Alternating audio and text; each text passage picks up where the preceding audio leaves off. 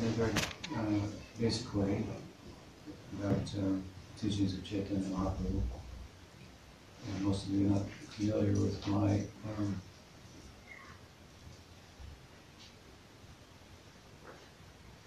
uh, theme of uh, uh, and uh, style of presentation and uh, language barrier to some extent as well, so I try to speak simply about a subject that uh, most of you, all of you should be familiar with. And uh, so that we I will turn to the Shikshastakam. This is, of course, uh, a, um, a series of verses, Sanskrit verses, thought to be composed by Chaitanya Mahaprabhu himself. They appear first in the work of Rupa Goswami, a a collection of, of verses by known and in some cases unknown authors. And he uh, groups the verses, many verses together under different headings. And the verses of Shikshastakam are also found in there under different headings, along with other verses. But um, they are not presented in Sri uh, work as uh, one consistent uh, group of verses um, as we think and have come to know of uh. And um, as some of you may be aware, grouping of those verses together and the idea that they were spoken uh, as well by Mahaprabhu one after another in one uh, sequence and in one setting comes from the, uh, the work of Kaviraj Krishnadas, uh, author the Chaitanya Charitamrita amongst, amongst other works. Um, and he places the Shikshastakam at the end of Chaitanya Charitamrita, the very last uh, verses of Chaitanya Charitamrita. And uh, the way he has presented them there, of course, uh, in the context of the narrative of the Leela, Chaitanya Mahaprabhu is at this time no longer a public figure. Uh, Chaitanya Charitamrita is uh, a book, of course, that was Krishnadas was commissioned to write by the Vrindavan Goswamis. And with emphasis on the on the Madhya Lila Chaitanya Mahaprabhu. Prior uh, works, works dealing with the life of uh, and teachings of Chaitanya Mahaprabhu, placed more emphasis on the, his Lila in, Nadia, in Navadvip. For example, Vrindavan Das' book Chaitanya Bhagavat has much more detailed description of Chaitanya Mahaprabhu's pastimes in Navadvip than it does his later pastimes in Jagannath Puri and his travels. And Krishnadas repeatedly defers to Vrindavan Das in his work. And in his own writing considers that his work is just a little extension of the major contribution uh, brought to us by um, Vrindavan Thakur and Chaitanya Bhagavat.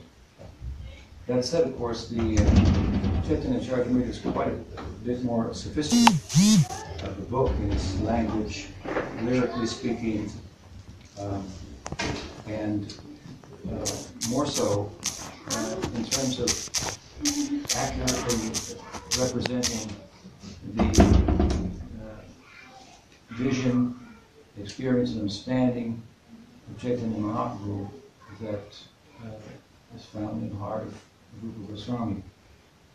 Books like Chaitanya Charitamrita, uh, at the time of its writing, abound, if you will, uh, in uh, various traditions religious traditions, works about saintly persons and so forth, that take certain liberties and liter- literary, um, are very, kind of political in a sense, these type of books. Uh, by that I mean they, a saintly person from a particular angle of vision. Hmm?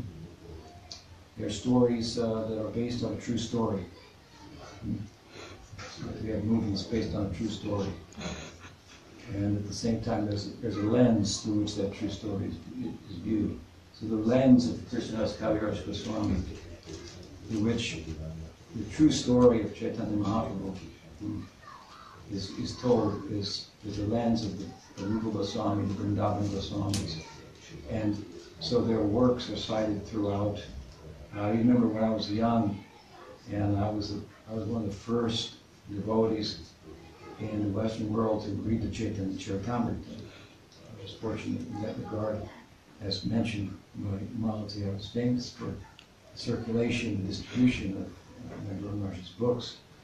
And uh, I had a close connection with one of the devotees who was um, in charge of the press. Uh, his name is Rameshwar. May have heard of him, collaborator of mine. And so when Chaitanya Charitamrita was being printed, it was being printed over a two-month period, 17 volumes of books.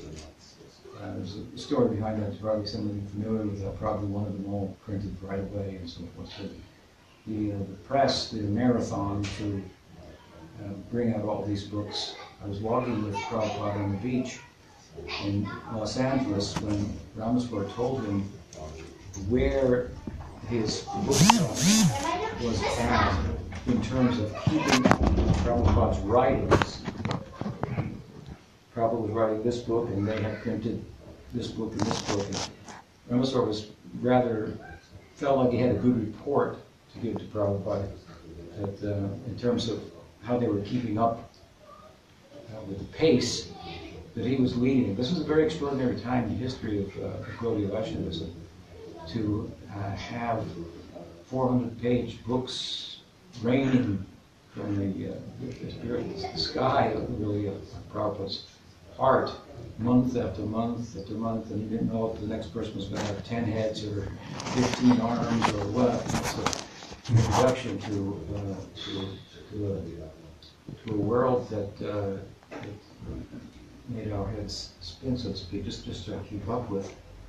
Um, with uh, with the Siksha that he was uh, nourishing us with. Um, so at any rate, uh, Rameshwar made the report to, to Prabhupada, and uh, Prabhupada replied to him, but that I have finished the Chaitanya Charitamrita, and so I'm way ahead of you, actually. And uh, then Rameshwar said that he had, they had calculated at the press that in order to bring out the work, it would consist of 17 volumes. And that they had a plan to bring out, because they were bringing out one, four, three, 400 page book a month, Prabhupada's Bhagavatam, one book a month. Hmm.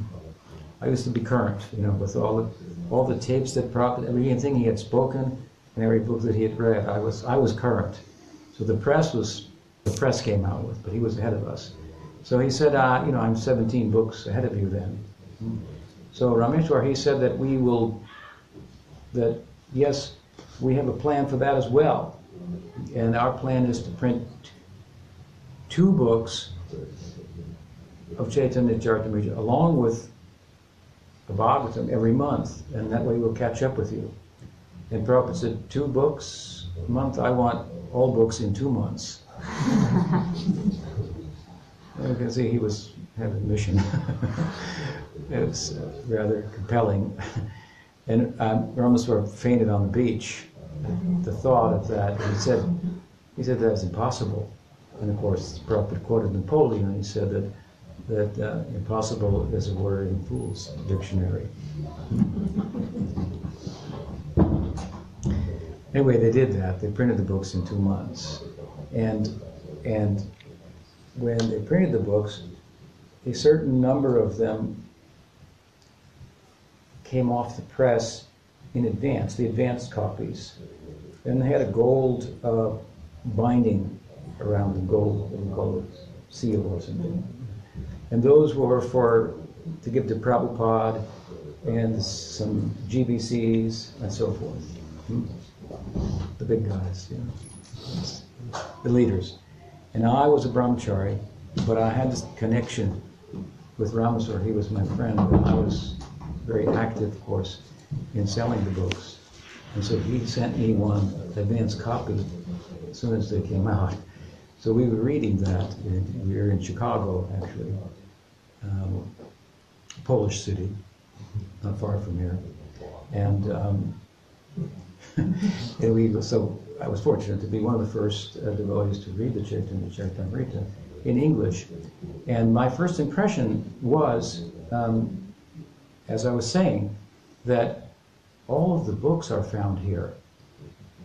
Here, I, in this book, there's oh, the Bhagavatam is here. It's the distilled essence of the Bhagavad.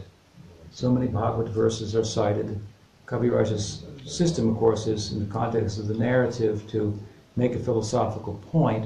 And wherever he makes a philosophical point, then he cites a, a an evidential or a pramana verse, a verse of evidence from the greater body of sacred texts that would be accepted by Vaishnavas in general, Hindus in general, and by that bring his book into their their orbit and canonize it, if you will. Um, so many, many Bhagavatam verses. Indeed, it is the distilled essence of the Bhagavatam and Bhakti Rasamrita Sindhu is cited there.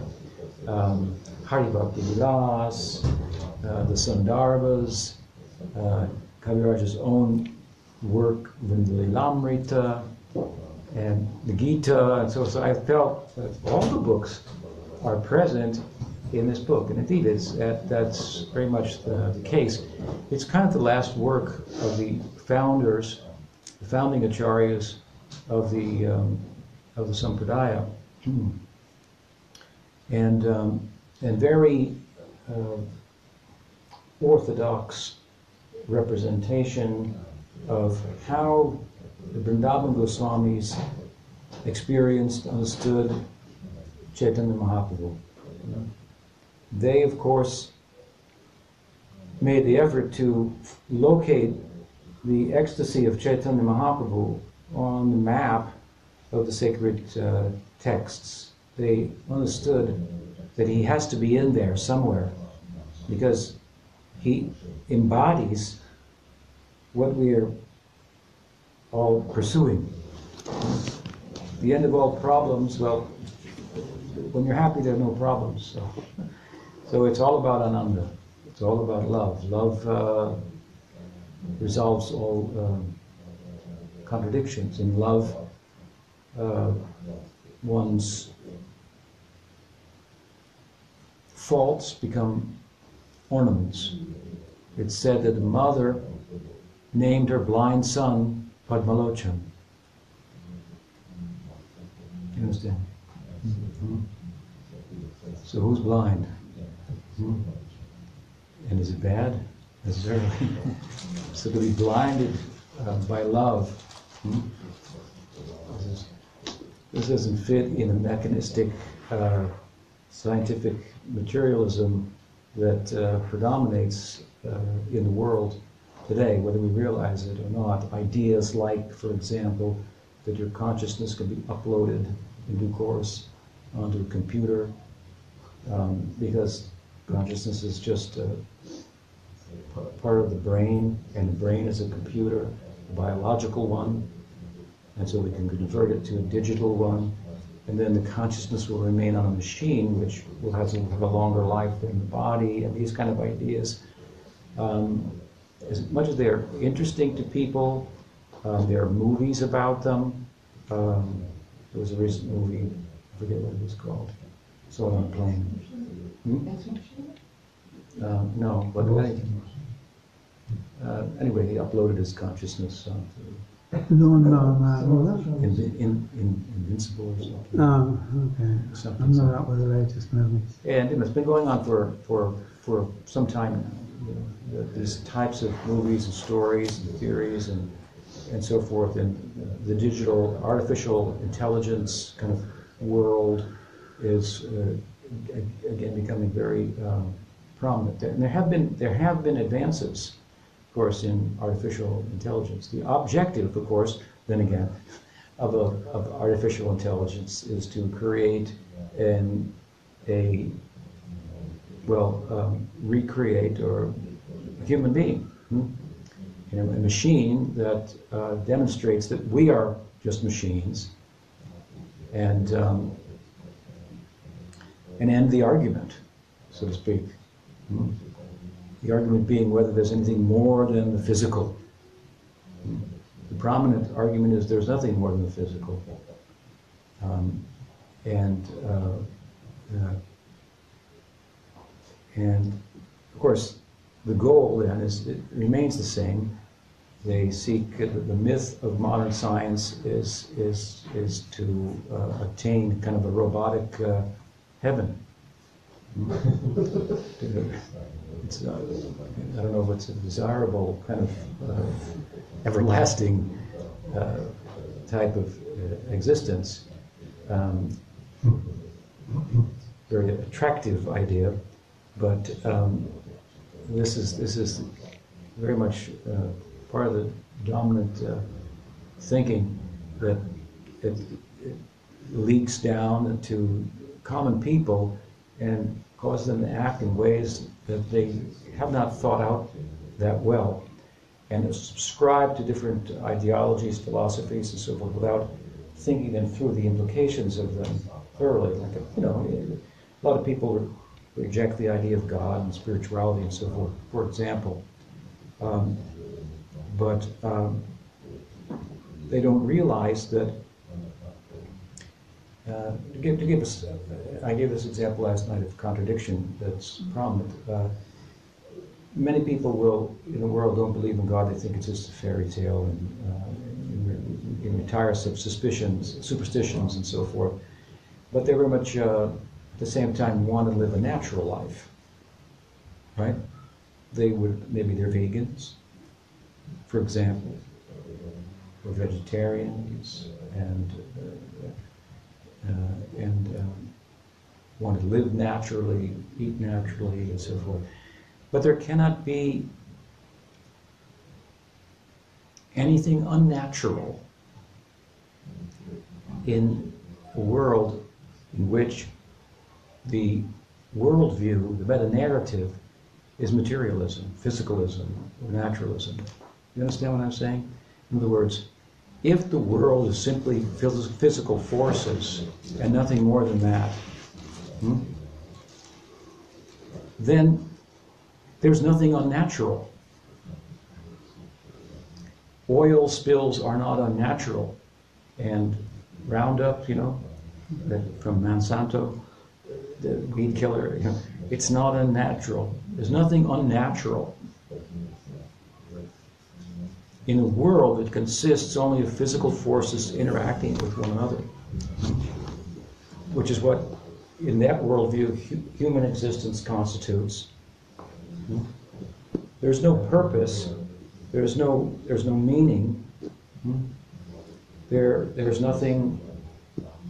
There can't be anything unnatural. It's only natural forces interacting. For there to be something unnatural, there has to be something other than the physical.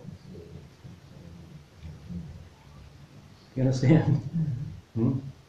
To go against, to contradict. Hmm? So the very idea that, that, that, that, that man is doing something against, or humans are doing something against nature, if humans are nothing but nature, then there's no meaning to that idea. So the, the feeling, the sensibility, the common sense of it all is that we are different from nature. There's something about us that separates us from nature. Will, uh, rational thought that, that has bearing on the nature of truth and so forth. We're actually in a, in a, in a, in a world that's only constitutes constituted of physical forces. Rational thought has no more no bearing on on truth there is no right or, or wrong between the different atoms and the way the electrons move. There's no right or wrong, no good or bad that's, that's ontologically rooted. Hmm?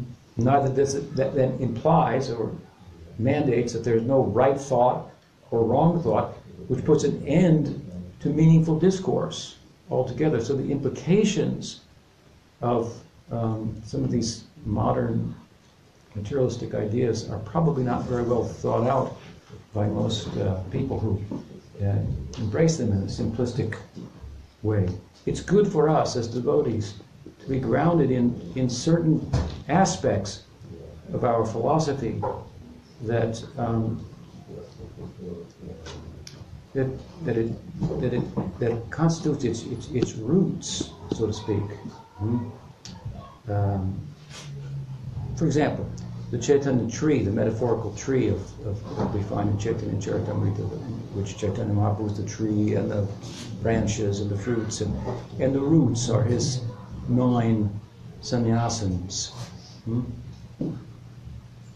They're, they have some, uh, they represent uh, detachment.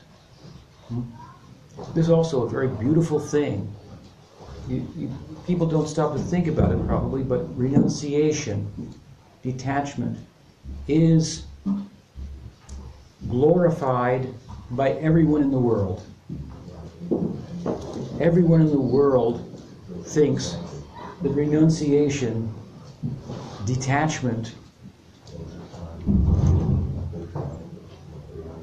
corresponds with truth. What do I mean by that? If you look, for example, at the justice systems in different countries, the justices, the, the lawyers, the attorneys, the judges, or the politicians, they ideally they are to be objective, right? They cannot be swayed by their feelings, by their attachments, by their emotions.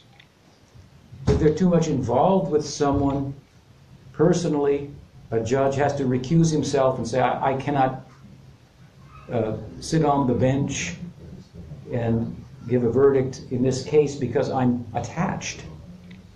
You understand? I'm biased. I'm prejudiced in a particular way. Hmm? So law, which is thought to be, you know, in the political sense, truth, it's, it's, it's thought to arise out of a, a sense of detachment. Science is based on objectivity, which is, again, it's not about how I feel, but let's just see where the facts take me. It's thought to be very courageous and scary, hmm? where it might end up. Hmm? So, this is a principle of renunciation. This is, the, this is very central to all forms of, of yoga hmm? and, and, and, bhakti as well, because as bhakti, it's a byproduct. Hmm? As scary and kind of uh, well, well, foreboding as the thought of applying oneself in terms of renunciation is, uh, is very much made up for in Gaudiya Vaishnavism by way of uh, dressing up, so to speak, the, the, the act of renunciation. Uh, Uddhava. Uddhava is Krishna's counselor in, in, in Dwarka, as you know. And it says in Bhagavatam, he says, he's wearing the, the, the vestments of Krishna. Krishna's clothes that he's no longer interested in wearing, he gives to Uddhava. Hmm? Here, you take this. I don't, I don't like this anymore. Finish with this. So Uddhava is wearing the, the, the remnants, the prasad of Krishna. Hmm? He says in the Bhagavatam, this is our renunciation. He's speaking about a form of Uttam Bhakti. Hmm? He's Dasya Bhakta mixed with some Sakhya in, in, in, outside of Braj. But he has some connection with the Braj too. After all, he was sent there. Hmm? He had, Krishna loved him so much. It's Very touching. The meeting between Uddhava and Krishna as uh, related in Gopal Champu, Jiva. He wanted him to have the experience of Braj. Anyway, he did. So he's a special devotee. But he makes this point, right? We Uttam Bhaktas. Uttam Bhakta means all of you. That means you have Shraddha in Uttam Bhakti, not Mishra Bhakti, not any kind of mixed Bhakti, but Uttam Bhakti. You are Uttam Bhaktas of the Sadhaka type. Do you understand? Because we are embracing this, this idea of Rupa Goswami, this kind of bhakti, the tome, Bhakti Rasamrita Sindhu, arises, as you know, Anyabhilashita Sunyam Yan Karmari Anavritam Anukulena Krishna Anushilan Bhakti. Out of this one verse, the whole book is uh, unfolding. The definition of Uttam Bhakti. It's uh, so. Uh, he says, Uddhava says, we Uttam Bhaktas, this is our renunciation. We wear the clothes of Krishna, and they're fancy. Hmm. We wore the, the princely royal vestments of Krishna. This is our renunciation to the Gyanis who are walking naked, wearing only ashes. Hmm? Scary people. Hmm? You seen them? From the Himalayas with their tridents and so forth. They're a little bit scary. Walking only with ashes and, and um, long hair and so forth, unkempt and, and and Uddhava is, is our renunciation. We dress like this. Hmm? That means it, makes renunciation charming because it makes it a byproduct of loving Krishna. If you love Krishna, if you love someone, then the things that are not favorable to loving him or her, you won't like those things. You will give those things up. The things that he likes or she likes, they'll become your likes. Love means you give me your heart, I'll give you my heart. We exchange hearts. So you work only from, from, from fulfilling my desires, I work only for yours. Heard that? What, what does Krishna say? Sadhu hridayam mayam. Sadhu, sadhus are my heart, and I am their heart. Have been saying? We only, this, this is our renunciation. We wear your, your, your hand-me-downs. Hmm? But it's a very full face of, of renunciation. Full face of renunciation. Because it's one thing to give up taking. Don't take. If you get caught stealing, don't take. So if you stop taking, you may be become, why did you hit me? You're taking. All right. Then I won't take anything. I was standing in the corner, like a child in school. You stand in the corner with your face to the wall. Hmm. All right, I won't do anything wrong. Hmm. So this is not, not taking is not the full face of loving. It's part of it, but it's not the full face of loving. He has to turn around, right? Eventually. He has to enter into the society again. The Gyanis, they want to leave the society. It's a society of thieves, no doubt. We should want to leave that. But where do we go? To nowhere. To an indeterminate, ultimate reality. Where there's no taking, but there's no giving either. There's no giving, then there's no loving. For love, there needs to be movement. Brahman is indeterminate.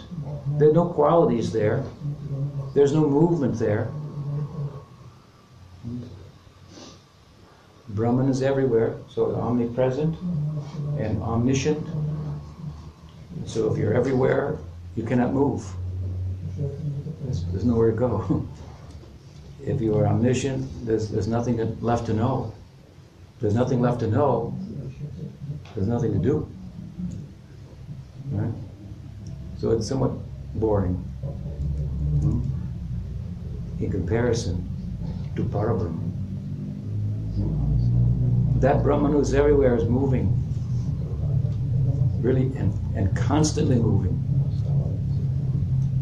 in the form of Krishna.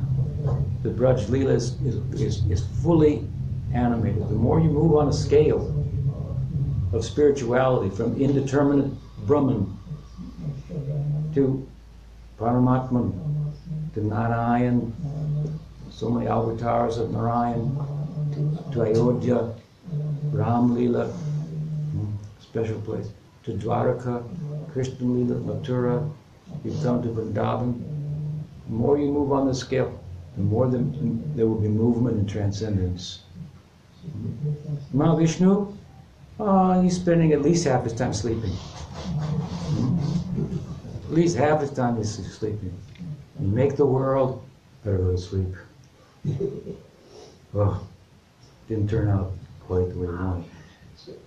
Mostly sleeping, waking, sleeping. When you go from Mahavishnu all the way to, to Braj, Krishna is never sleeping. As soon as he goes to sleep, his friends are waking him up, right? Practically no sleep. He may sleep, fall asleep for a little bit in the forest with Radha, but not deep sleep. Hmm?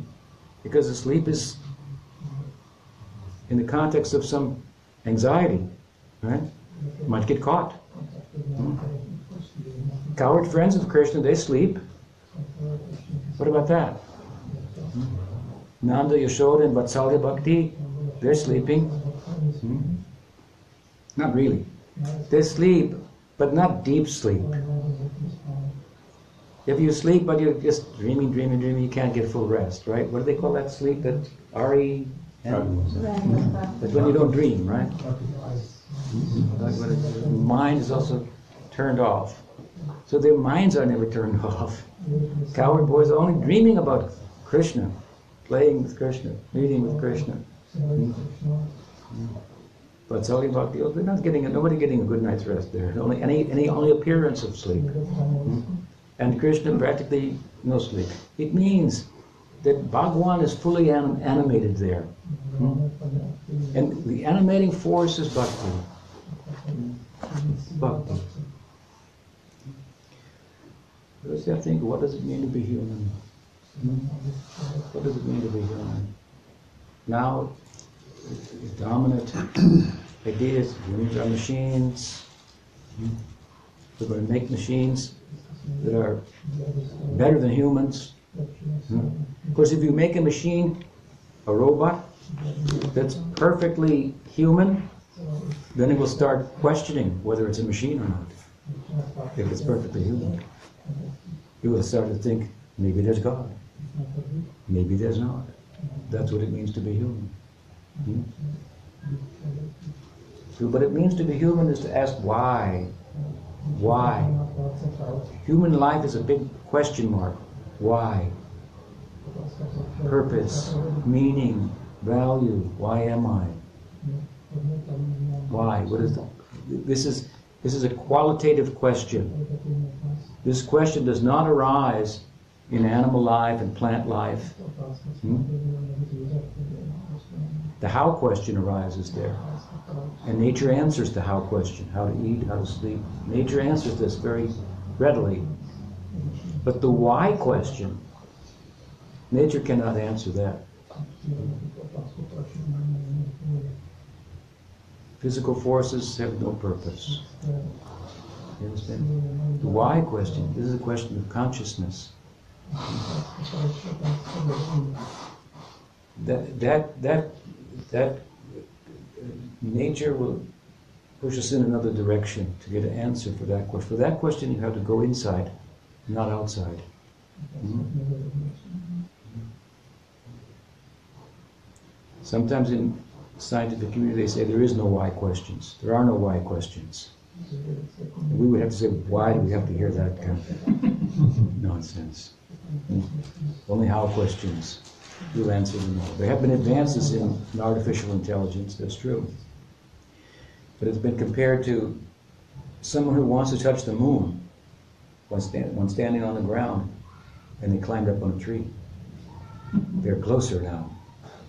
To achieving what artificial intelligence is, is, is, is thought to, is, is pursuing. So this is a foolish idea. Hmm? This is a foolish idea. What does it mean to be human? This human life is in the stage where Krishna can pursue his love life more fully. It is a is it is that is called his Nara Lila, not his Deva Lila. Deva Lila means in Golok. There's some Aishvarya there. Here, it is as if sometimes they say when they make a movie and they film it on location, that's a special extra feature. They don't make fake mountains in the background. It's a, they actually film it in Prague itself, right on the bridge. Mm. Whatever. So this is the, the Lila of Krishna. It's very much facilitated. Love is what makes the human. This is Mahaprabhu's teaching. It's often thought that humans are differentiated from animals and plants because they have intelligence. Mahaprabhu's idea is no, because they can love. Hmm? Because they can love. They can do something voluntarily. Hmm? They can make a sacrifice. Love is born from the womb of sacrifice. And suffering is born from the womb of attachment. And everybody accepts that. Renunciation principle, whether they understand it or not. Hmm? We are just, these are just common sense things we're playing out further. Hmm? Follow me? Hmm? It's good to think a little bit like this. And there's so many winds of thought in the world today that your contemporary people and and there are new arguments and thoughts about what the world is, what life is, what it means to be human, and so forth. If we want to be players in that world and have something to say, we have to be a little acquainted with what they're saying. We can't simply take arguments from 500 years ago, what the world's like, and think we solved all the, answered all the questions and wonder why people don't listen to us. they don't listen sometimes because they think we don't know what we're talking about in terms of how people think today and why they think the way they do. Hmm? Our Goswamis, the founding acharyas, they were fully acquainted with the, the trends of thought uh, during their time. Because they were acquainted with Sankhya, Yoga, Mimamsa, uh, Nyaya, and so forth. These were the prominent uh, philosophies of the time. Does that mean that's all we need to know? Be contemporary and speak about Gaudiya Vaishnavism? And to, and to pursue Gaudiya Vaishnavism ourselves? you have to deal with the currents of thought, whether we realize it or not. They're influencing us in our lives. Hmm? How are they making us think? And how does that relate to the, the ground, philosophical ground of, of, of Gaudiya Vaishnavas? Does, it- does it have any currency in the world today? So it's good to think a little bit along the, the, the, these lines. Hmm? What does it mean to be human? And Chaitanya Charitamrita really, of course, really uh, uh, seeks to, to answer this um, this question by presenting as it does Goswami's view of Chaitanya Mahaprabhu. Hmm? They wanted, as I said, Goswamis to locate his ecstasy on the sacred uh, map, which is the sacred text of the time, the, the, the standard of knowledge of the time. They wanted to, to locate him there because they felt that if he's not on the map, then we don't need the map. I mean, his spirituality was so obvious that he is in in his in religious history of the world. There is no person that more embodies ecstatic love of God than Chaitanya Mahaprabhu. And that's just an objective statement. I mean, you can't. Uh, too many people witnessed, wrote about, and of course from their own vision and so forth, but consistently you get a picture of a person absorbed in extraordinary um, uh, um, ecstasy. ecstasy. Hmm? Uh, Rupa written in Bhakti Rasamrita Sindhu, you know, it's a book about ecstasy. A very popular subject. Years ago, many, many years ago, about 40 years ago, 30, 40 years ago, we, we published a magazine, we called it Clarion Call. It was, uh, I guess it was in, in the early, mid 80s, so 30 years ago. And it was circulated in America in stores and so forth. And uh, we had thematic issues. It came out every quarter. Each, each issue was about, had a theme. So one of the themes was ecstasy. I didn't know it was a popular drug at the time, but it was the most popular issue that we had. The idea, right, of ecstasy, happiness. The ecstasy, the joy, the ananda, the bhakti ananda of Chaitanya Mahaprabhu. Rupa Goswami is writing in Bhakti Rasamrita Sindhu about ecstasy, about bhava, about sattvika bhavas, for example. He says, I'm only mentioning those that are prominent, which you very seldom see, but anyway, there's eight or nine of them. Hmm? Nine in Vatsalya Ras and eight otherwise. He said, but there are others also, but they're too rare to write about. And those appear also in Chaitanya Mahaprabhu, like, like, like blood, perspiring blood from the pores of his body. Very shocking, the, uh, the figure of Chaitanya Mahaprabhu in his private life. Chaitanya Charitamrita, as I'm saying, you me, hmm, was commissioned by the Vrindavan Goswamis. Krishnadas was commissioned to write about the middle pastimes of Chaitanya Mahaprabhu, the later pastimes. The book is centered on the Madhya Lila, the teaching Lila of Chaitanya Mahaprabhu as a sannyasi. What is he teaching? How to go to Navadvip. That's why he defers to Vrindavan Das. Oh, Vrindavan Das. He's, the real author. Oh, Vrindavan Das, you know. Because his book specializes in talking about Chaitanya. You might find it in Navadvip. And this is the goal of Gaudiya Vaishnavism. Enter into the kirtan at that courtyard of Srivas Thakur in Navadvip. To know Chaitanya Mahaprabhu, sannyasi, as Nimai Pandit. Go to kirtan with him. Worship Krishna with him. This Navadvip, that is a Vrindavan. Hmm? Right? Don't think that Gaur Leela is different from Krishna Leela. Gaur Leela, Krishna Leela is, there is, without Gaur Leela, Krishna Leela is not complete. Hmm? Krishna Leela is a failure, actually, without Gaur Leela.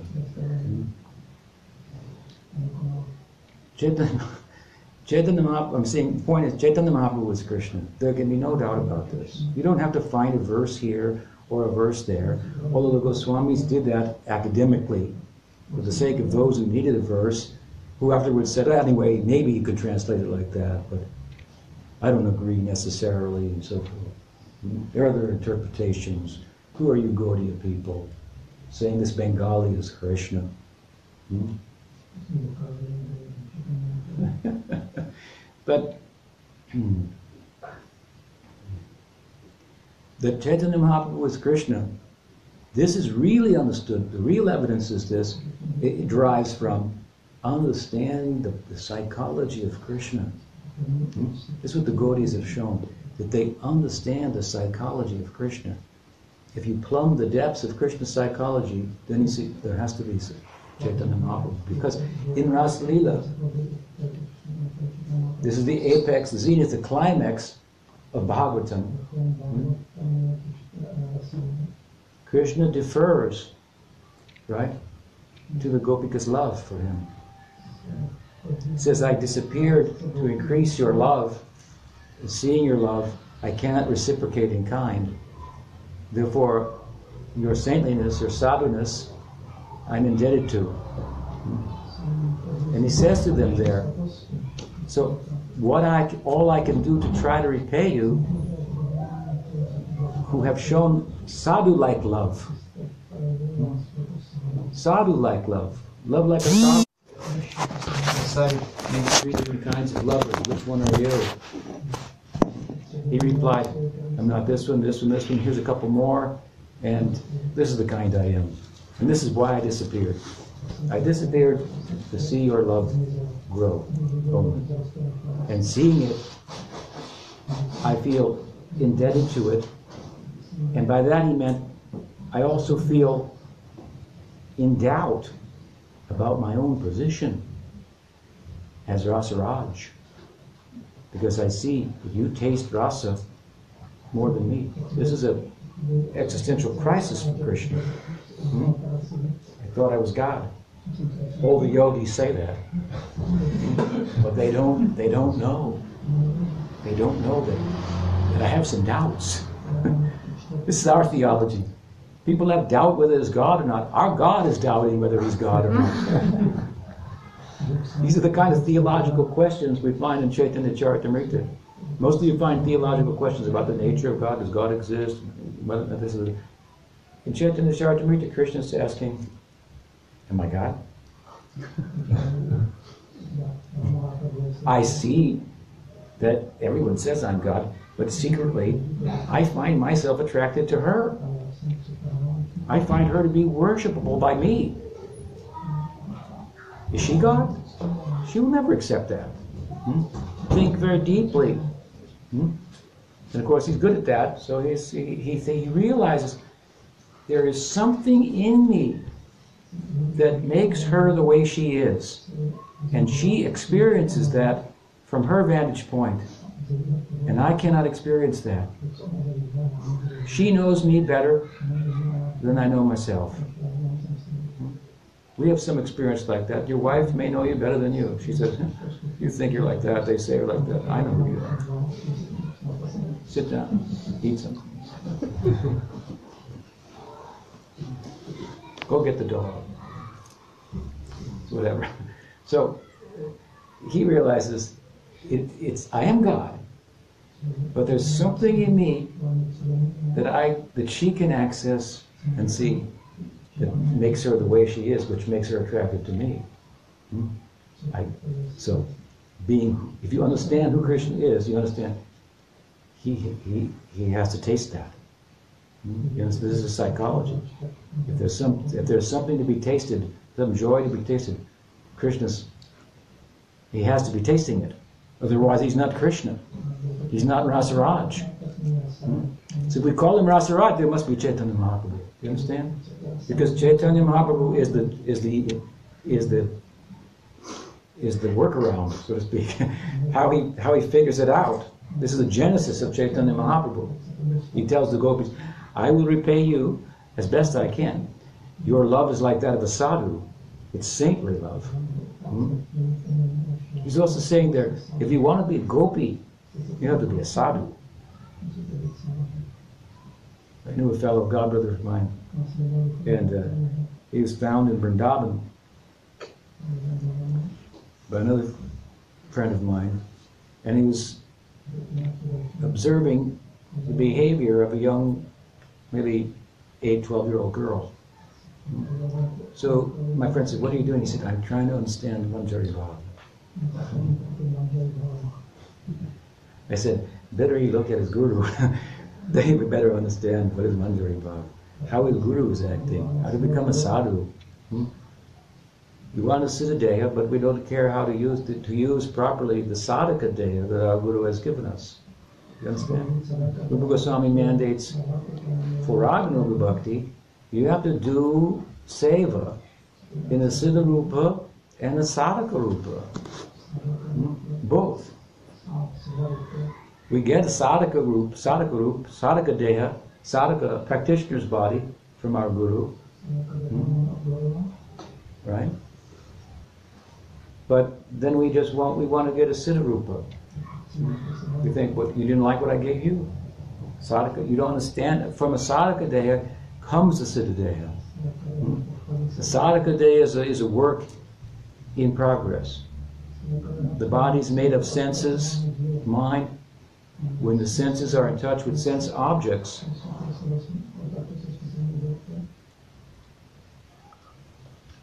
for the pleasure of the senses, this creates a material identity.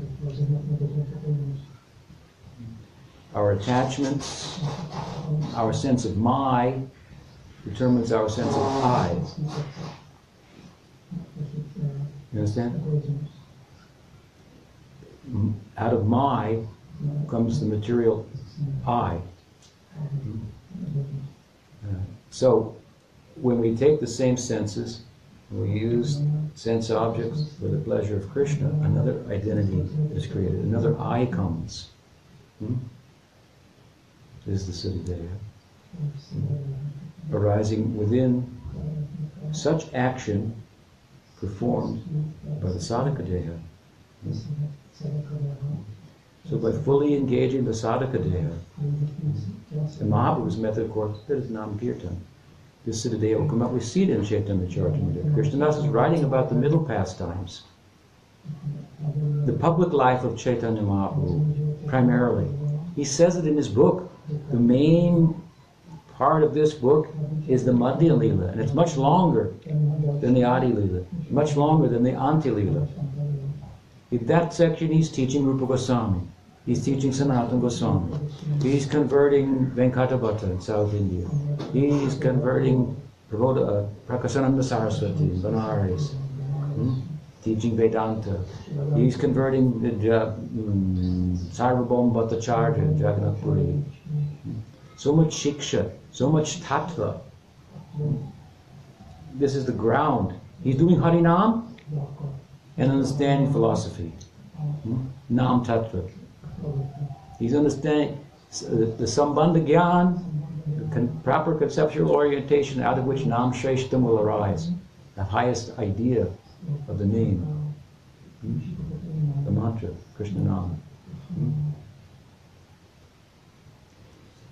And as a result of this, what happens? His public life turns, drifts to private life. He's, he's drawn, he's forced into private life and retirement. It, it means his sadhaka, he's a, this is this is Krishna in his Acharya Leela, right? He's playing the role of an Acharya, Krishna. Hmm? Of course, in the context of that, he's he's Krishna seeking to experience what he could not experience in Krishna Leela. So, that's why I say Gaur is Krishna. No other avatar is interested in Radha's love. Varaha is not interested in Radha's love. Hmm? Is not interested in the nature of Radha's, Radha's love. They've got their Lakshmi, that's, you know, that's enough right there. No other avatar has, has Leela Madhurya. No other, or Prema Madhurya. These are qualities of Krishna. Prema Madhurya, Leela Madhurya, Rupa Madhurya, Venu Madhurya. They don't have these qualities. Not even Narayan, right? You know, and none of his avatars, by, by extension. Hmm. Radha's Prema Madhurya, the full sense. Term, right? Full face of love, sweet love. This is only only Krishna would be interested in this. Only Krishna would be connected with this. This is what Chaitanya Mahaprabhu is all about. You wonder if Krishna exists historically as a real as a real person. Hmm? As if history was the final word on what was real and what was not real. Hmm? Who says? There are different ways of knowing, obviously. Hmm? Right? Hmm? How, how real is Krishna? We have to look only to the ecstasy of Chaitanya Mahaprabhu.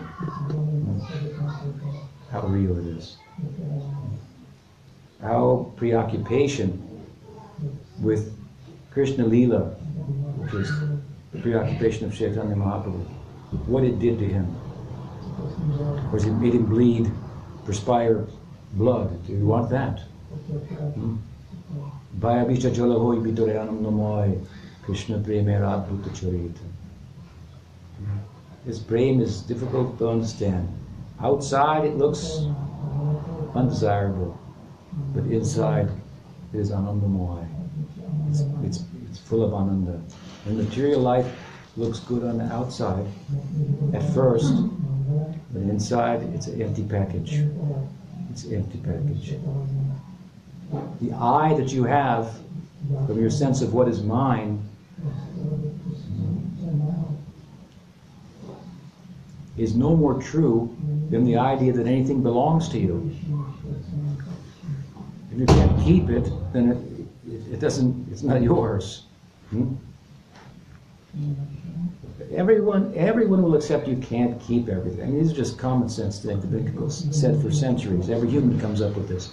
You can't keep everything. You can't keep anything. Hmm? Right? Wanting to, suffer. As much as you want, you may not. Krishna tells Arjuna in Gita, Dukkalayam ashashvatam. He says the material life is summed up in two words. Dukkalayam ashashvatam. Dukkalayam, dukkha means it's a place of suffering. And then he says it's a place of suffering, and Arjuna thinks, yeah, but I like it sometimes. And Krishna says, ashashvatam, well, you can't keep it. If you like it, you can't keep it. Now it's become even worse.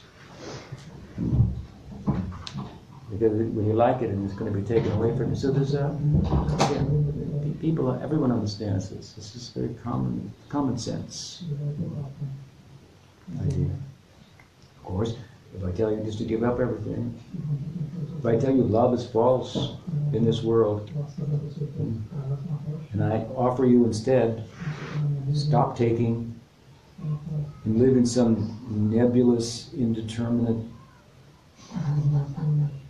mukti that you can't say anything about, you can't think about, you can't you can't hear about it, you can't smell it, it's indeterminate. It, it's just the end of the suffering. Hmm? You have a valid argument if you want to say, well, I would just rather you try to love anyway, even if I can't keep it. You have a fairly valid argument against the pursuit of mukti unto itself. Hmm? Of course, we, we have presenting to Uddhava's idea, very charming idea, right? Hmm? Giving up in something in the context of, of embracing something better.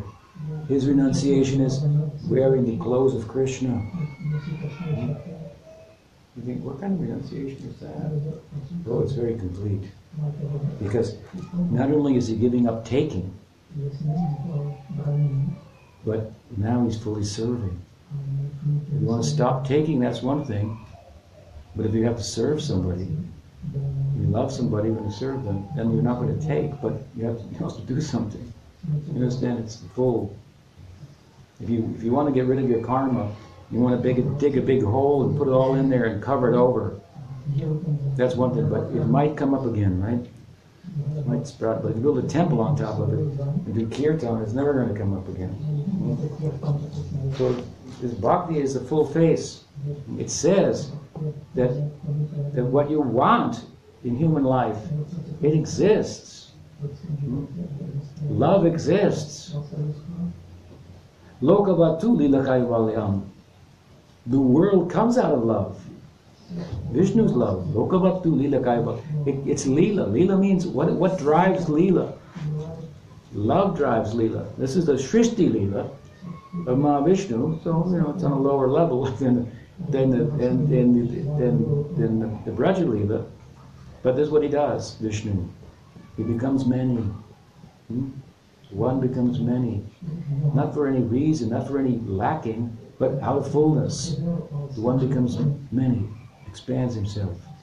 This is us. Hmm?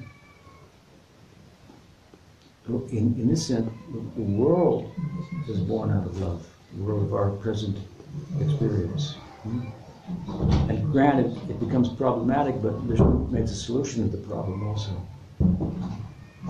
Bhakti is always present in the world. Sadhus, avatar, the Veda comes with the world. The problem, of course, it's a play, because the problems don't really exist, they're only in the mind. Suffering only is only exists in the mind, right? You think so? No.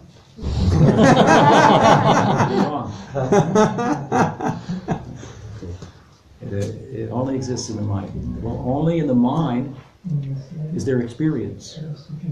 The mind experiences the body if it pays attention to the body. Otherwise, the body doesn't experience itself. It's just gross matter. Only in subtle matter, in mind, which is quasi conscious like, because it has the power to reflect pure consciousness. Chitta does. And so there's a, there's quasi subjective realm within matter, and that's the experiential realm. Hmm? Otherwise, gross matter is, is, is not the realm of experience. That's why yogas focus on mind, solve all the problems. Hmm? Materialism wants to make the mind the brain. That sounds terrible. Hmm? That means you really have to suffer. that means you really do suffer. The brain, it means the brain suffers. It means the physical, of course, it doesn't make any sense that there'll be suffering or experience in something that's non experiential. This is what they're trying to say. Hmm? So, so Chaitanya Mahaprabhu, hmm? a embodiment of happiness, of Ananda.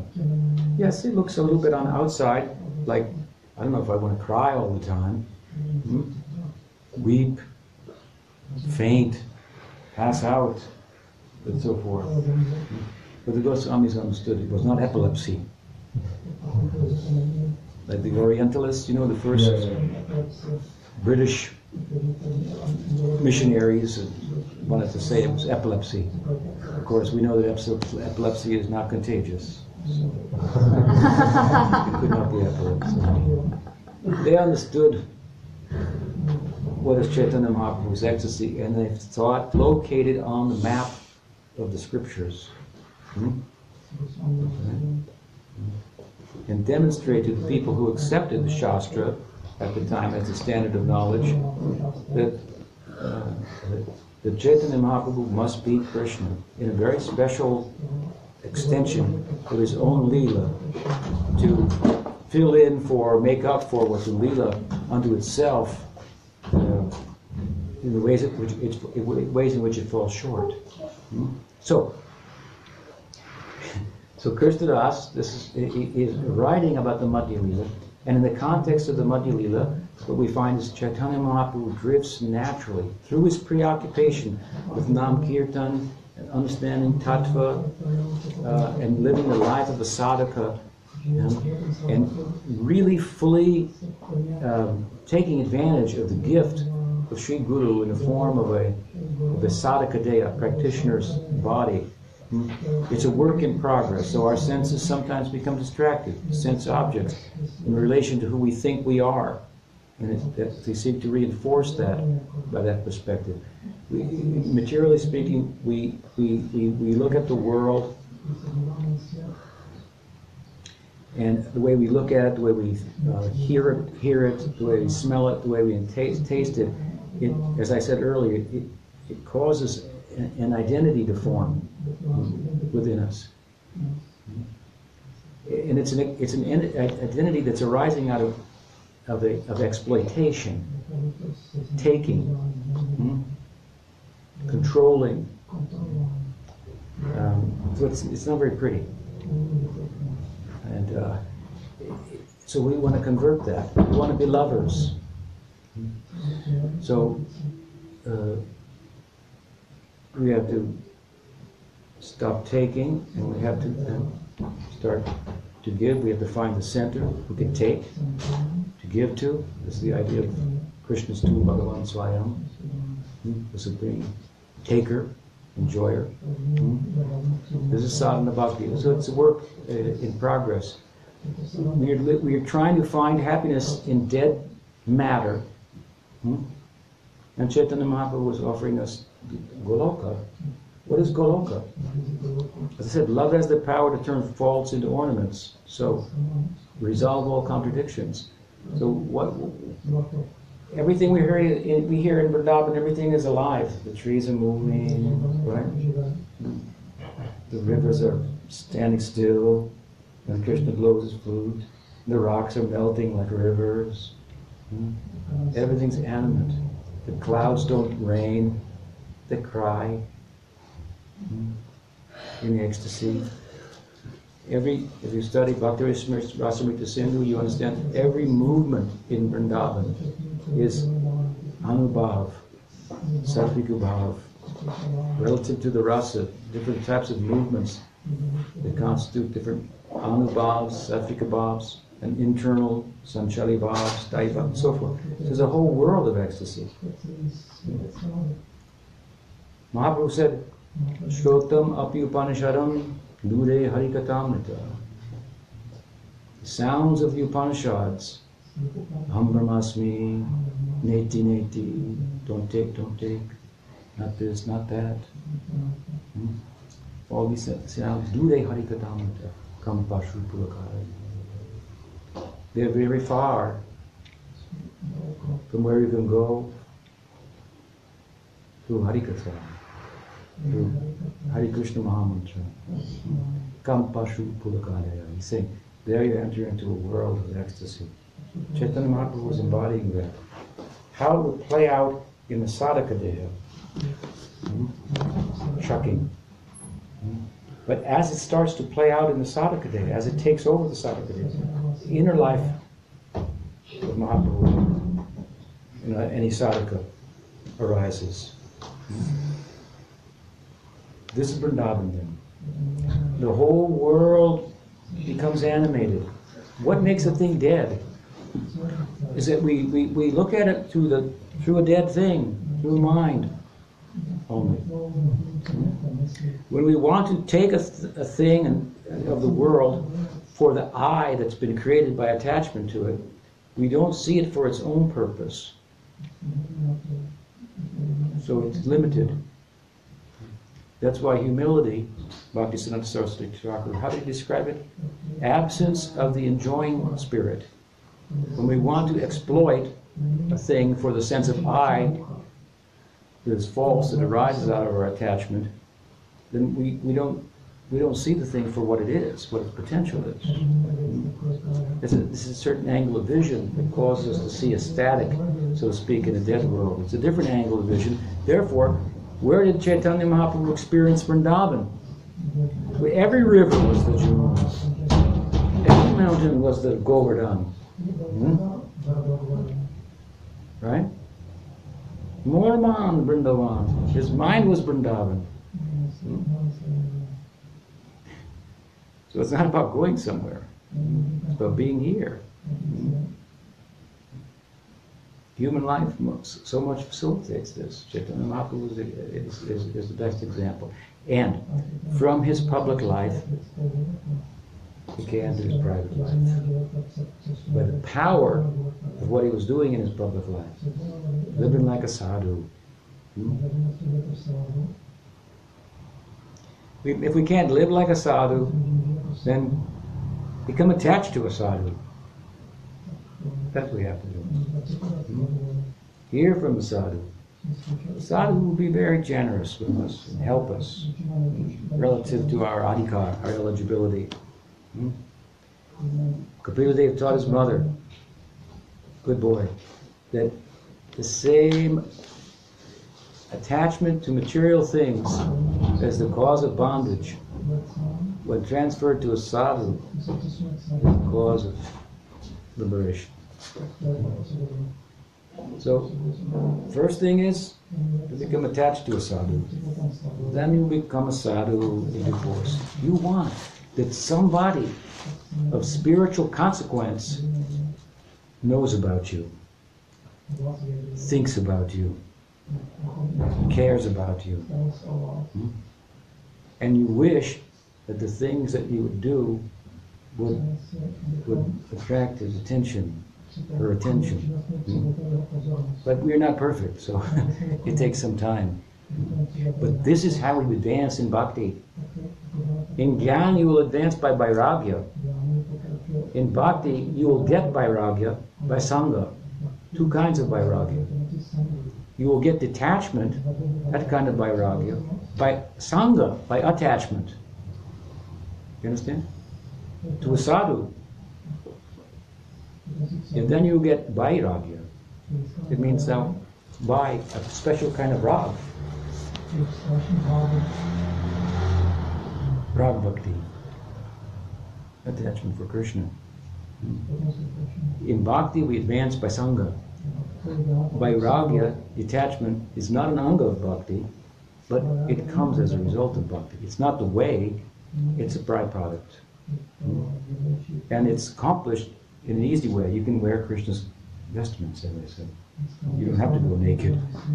Wear only, only ashes. So Chaitanya Mahaprabhu,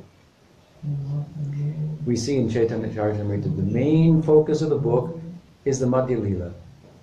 The Antya is there also. But what can you say in Antya Lila? This is Mahaprabhu's private life. There his, his, the method to his madness has, has been perfected, and he's mad.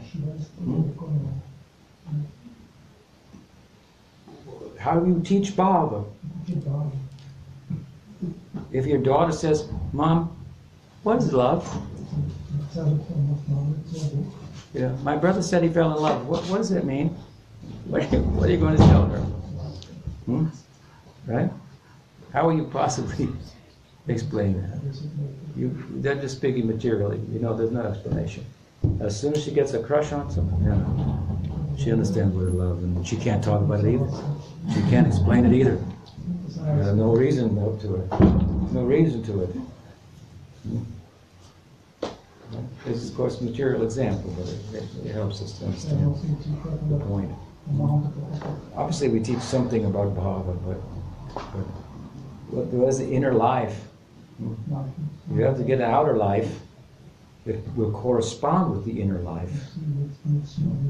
One time I was speaking about kirtan, who's in the United States, and afterwards was in the audience, and he said to me, Swamiji, very nice, but um, my thinking is that the spiritual life, that should be private thing. That's something we take in public. So he was objecting to the idea of nam-kirtan, which is which is, can be public. I said, actually, to, I replied, actually, spiritual life is when your private life and your public life are no different. That is spiritual life. Hmm? When we actually live as a sadhaka, then you come and worship Radha Gopinath here. Hmm? Then you go home. Maybe you, you, you dress a certain way when you come to the temple, maybe not. It's okay. Hmm? But you act a certain way when you come here. Hmm? Then you go home, as soon as you get on the tram or something. Then turn on the, what's on the Facebook, what's happening, Wha- whatever you listen to, who knows? We have our distractions. right? Hmm? That means by our sadhana, we have not universalized, understood the universality of our deity. The, tip, the reason we come to the temple is because we can't find God everywhere, even though He is everywhere. So we build a temple, say he's over here. So come here. And then we act a certain way in front of God. Hmm? But the, the fruit of that is that you turn around someday and you see him everywhere. If you've actually done archam, seva puja, if you've actually done a kirtan, not from, from, from, from music for the ears, but from the heart. Hmm? When Bhaktisiddhanta Saraswati Thakur was leaving the world, he asked that, the, that his disciples would sing Sri Rupa Manjari Pada, Narottam Thakur's song. Kunja Baba asked Pramod Puri Goswami Maharaj to sing because he was a famous kirtanier. He had a beautiful voice. But Saraswati Thakur stopped him and said, I don't want to hear a sweet voice.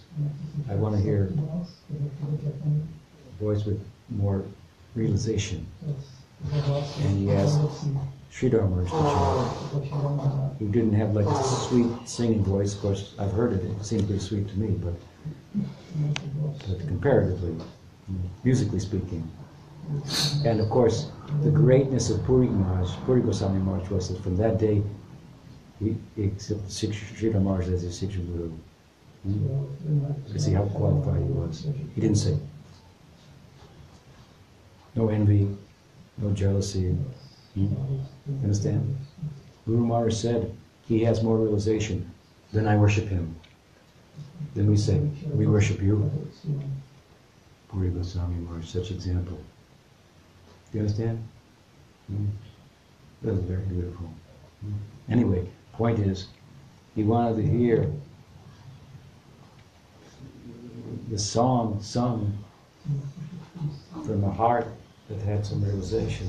This is a heart exercise, this, this kirtan. Hmm? So in due course, then the universality of our deity.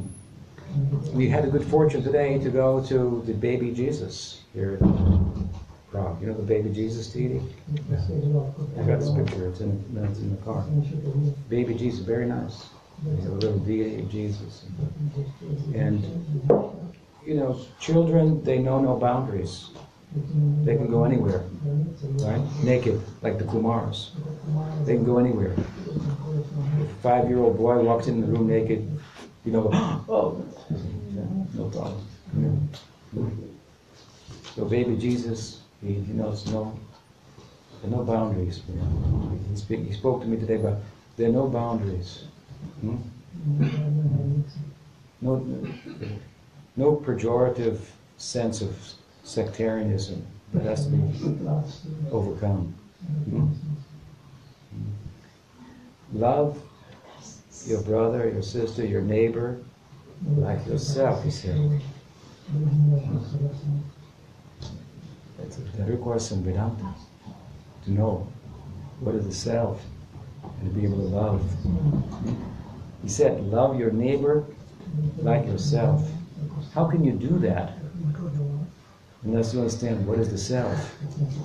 You can try if you think the neighbor is who he thinks he is, and you think, I'm this body, mind complex.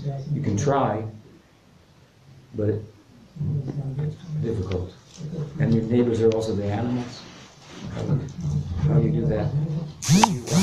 You understand? I mean, giving a basic teaching is a very, very good teaching. Love your neighbor like yourself, and your God with all your heart and soul. When you love God with your heart and soul, then you love you can love your neighbor like yourself because you begin to see everyone as part and parcel of the same God. Right? When you understand what is Atma and what is its potential for bhakti, bhakti ananda. Atma, what is that bhakti ananda? What is atmananda? Hmm? Then you can love your neighbor hmm, like yourself. That's what the Gita says, right? You all know the Gita in the sixth chapter. Krishna says what? The perfect yogi is one who loves his neighbor like himself. That's what he says. Who identifies with the sufferings of others as if they are his own. He said, this is the highest feeling. I was listening to a class, it was a little entertaining on the way here, somebody in ISKCON was on the tape, so we thought we'd listen to it. and um, it wasn't a good class, I, I'll tell you that. Was- but, but I was trying to get a point, you know, uh, from it. And, it- and at some point, he said, he said, and so if one devotee is chanting, and another devotee is chanting, and you don't, and that devotee is pleasing Krishna, and you're pleasing Krishna by the chanting, then you should like one another, right? So how can you not like another devotee who's chanting, he's pleasing Krishna, and you're chanting, and you're pleasing Krishna? There was some, there appeared to be there was some discord in the temple, and he was addressing it, you know, kind of like that. What I, what I got from the from the class. But I thought, yeah, that's a good one. I have to tell him about that. You know, I wonder if he'd extend that beyond the borders of the corporate um, group there. We're chanting, right? He's chanting. Krishna likes our chanting. Krishna likes his chanting. He should like us. We like him. Hmm? So it's a good lesson for all of us. Um, so I, I talked to Jesus about that today. I, I thought this is a teaching. Uh, kind of the kind of response I got. You should love your neighbor. What is the implications of this? So when anyway, I'm, I've got a little distracted from what I was going to say to you tonight, but I, I'm back to the start. In Antya-lila, this is where we find the Shikshastakam. Hmm?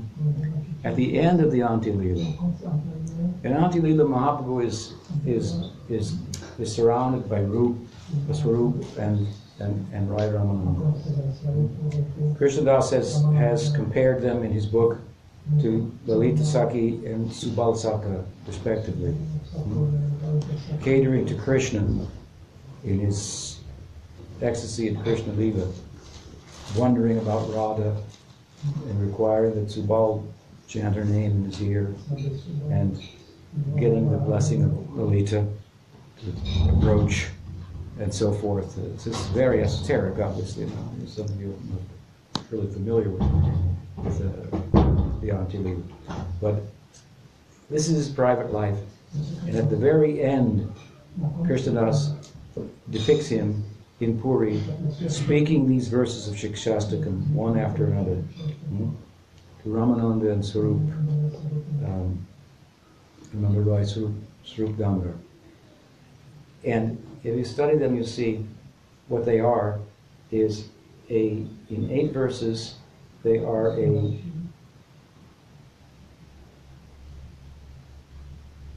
the whole teaching of Chaitanya Charitamrita that has gone before that is encapsulated in the eight verses of Shikshastakam. So he's reiterating the whole teaching of Chaitanya Charitamrita through the eight verses in his very brief but substantial commentary on them. So it's an important uh, group of verses, and as a group, as I say, coherently or, or uh, consecutive verses, uh, that has first been shown in Chaitanya Charitamrita. And I wanted to speak about the third verse, which everyone likes the most, where you're told, Janadapi Sunichena, Duravapi. So I won't have time to go into it because of my prep, my introduction to it was rather extended, but I will remind you all of this. That this verse is very simple verse, but very hard to put into practice. and, and, and practice is what we need because practice makes perfect. Only practice makes perfect. You have to use your head to soften your heart. Using your head to study philosophy is only as good as you apply that. Let's make a change, internal change. So this instruction is very, very simple. It came from Mahaprabhu. Krishnadas says, at another time also in the Leela. Now it's coming out at the end, right? As I said. But it came at another time also. Mahaprabhu spoke this verse. When the guru of Krishnadas Kaviraj Goswami is who?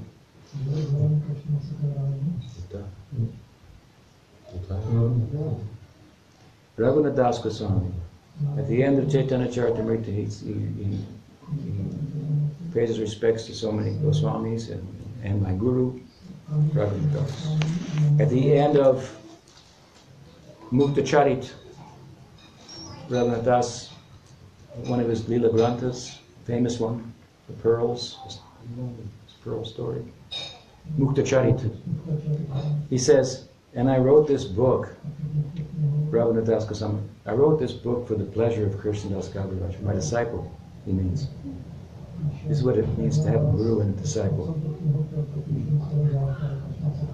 I wrote this book inspired by my disciple, Krishna Das.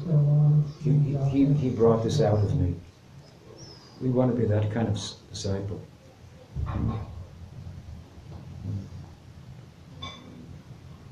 Gurudevaya Krishnanandaya Dhimahi Tanno Guru be inspired and to inspire them. To be inspired by the Guru in such a way that the, Guru will be inspired. This is Bodayantas Parasparam Tushanti Charam. There's a relationship that one fosters the other. You can't have guru without a student, you can't have a student without a guru. They, they're one and different. Hmm? Right? So, Raghunath Das Goswami, he's the guru of Krishna Das Goswami, and who else is he? In our sampradaya, he's thought to be the Prayojan Tattva Acharya. So we have Sanatan Goswami, he wrote Brihad the seminal commentary on Bhagavatam, Vaishnav Toshani, Hari Bhakti Vilas. So his emphasis there is on Sambandha Gyan. Rupa Goswami, his main contribution, Bhakti Rasamrita Sindhu. This is Abhideya Tattva, the way. Sambandha Gyan is a conceptual orientation, and according to your conceptual orientation, uh, that orientation will foster certain activity. So there's a conceptual orientation that fosters the action of bhakti, which in turn fosters the emotions of bhakti. And when the actions of bhakti foster the emotions of bhakti, then from Abhideya we come to Prayojan, the fruit, emotional life in transcendence. And Das Goswami, at, at the behest of, of, of, of Sanatan Goswami, he says, Sanatan Goswami made me do this, he writes. Yeah. Very beautifully, poetically, he has written about the Prayojan, highest ideal of Gaudiya Vaishnavism. So this Raghunath Das Goswami, how he got to there, first of all, he got the blessing of Nityananda Prabhu in Navadvip. You maybe know this his story. As a result of the blessing of Nityananda Prabhu, he could escape from home hmm, and join Chaitanya Mahaprabhu in Puri. And there Chaitanya Mahaprabhu put him under the care of Swarup Damodar. And there he was serving, he was very young, under the care of Swarup Damodar. And he asked Swarup Damodar, Mahaprabhu's secretary, can you ask Mahaprabhu that I would like to get some personal instruction from him? So Swarup Damodar asked Mahaprabhu, Mahaprabhu said, he's listening to you. What, what does he need? to- You know more than me. Swarup Damodar, we see in Anjali, he's a teacher of Chaitanya Mahaprabhu. How to step into the, he's teaching Krishna how to step into the bhav of Radha. Hmm. Lalita Sakhi, she knows what is the bhav of Radha. Subal knows also. Hmm. Or if you want to look at Ramananda Roy's Vishaka, she certainly knows she's born on the same day. So, same temperament in many respects. So they are teaching Krishna how to enter into the, to assisting into the bhava of Radha, which is what Gaur is about. The last verse of Shikshastakam, Krishna says, and Radharani spoke this verse, it means it's done. He did it. Haribol. Chaitanya Mahaprabhu, Krishna has become, stepped into the shoes of Radha. It's done. Is the end of the book, you understand? It's done. And Radha spoke this verse, Asli Shiva Padarutam Panastumam Adarshanam. You know this verse. So hmm. this is spoken by Radha. It means Chaitanya Mahaprabhu's mission is complete. Krishna's mission is complete now. Hmm. So he did, he, he was tutored in this. Gadadhar Pandit is Radha. He gets out of the way in Puri that Mahaprabhu can step into that bhava. And in the company of Ramananda Roy and Swarup Damodar, he's coached and he becomes successful. So who is Swarup Damodar? Mahaprabhu says, he wants to hear from me, but I put him under you. You know more than me. I'm learning from you. Hmm? So he did not entertain the idea of who should have done that. And he asked again, could you ask Mahaprabhu again? I'd like to get some instruction from him personally. So finally Mahaprabhu said, okay, bring him, I'll tell him something. You know what he told him? He said, don't read Facebook. That's what he said. Gramya Kata Nashinibe. Don't get involved in Prajalpo. Hmm? He said, don't do that. He's te- you think, what will he tell him? Right? He's the Prayojan Tattvacharya. He wants a special instruction from Chaitanya Mahaprabhu. Hmm? What, what high thing will he tell him? Hmm? Oh, So we pay close attention. Mahaprabhu now going to speak to Raghunath Das Goswami. And he says, Gramya Katana Shunve. Don't get involved in gossip. Hmm? And Prajalpo, you know, Prajalpo. Hmm? He says, and he said, dress simply. Don't be concerned about what the latest fashion is. Don't, don't be, eat simply. That's what he told him. Hmm? This coming from the mouth of Mahaprabhu into the ear of Damodar.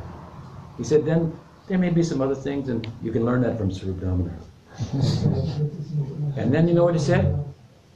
Krishna says, he said this, Trinadapi sunichena, Tarorapi seshtana, amanina manadena kirtaniya sada.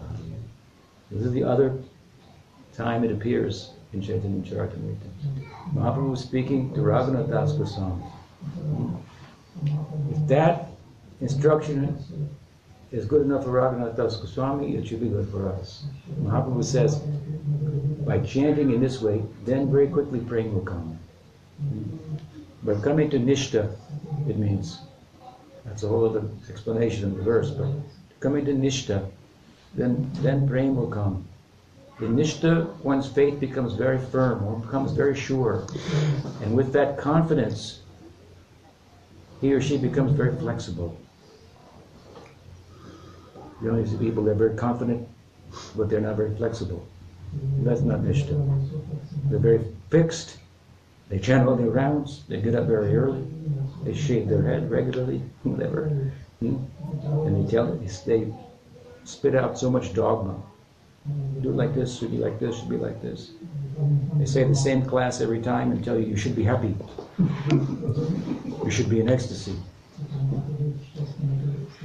Be happy. You're chanting. Chanting should make you chant. Prabhupada said chant and be happy. You should be happy. I heard this class today. I, I said that was part of the class. You should be happy. Okay? I'm trying. That's so hard. So, no. Hmm. Not like that. Hmm.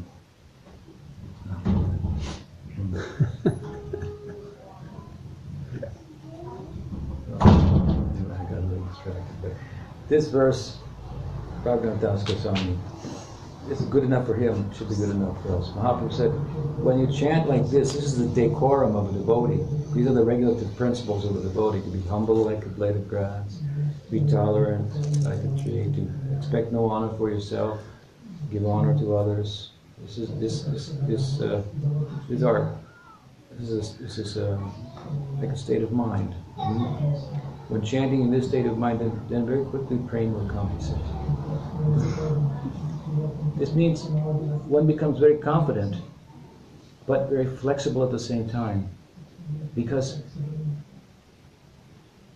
one has real experience of the self in Nishta.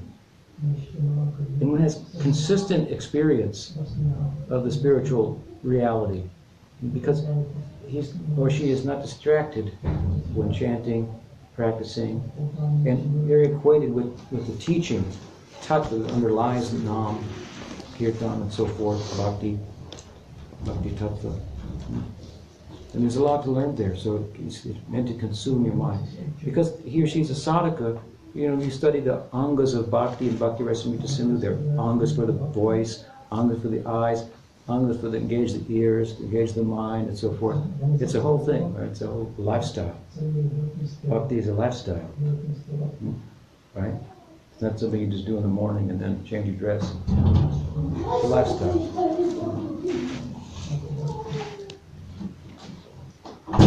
So one becomes sure by way of fully engaging the intellect, and if the senses, mind, and intellect are engaged, then there'll be consistent experience. We sit down and chant to go somewhere. Hmm? What will I find out today about that place? Where Krishna Nam is the wealth.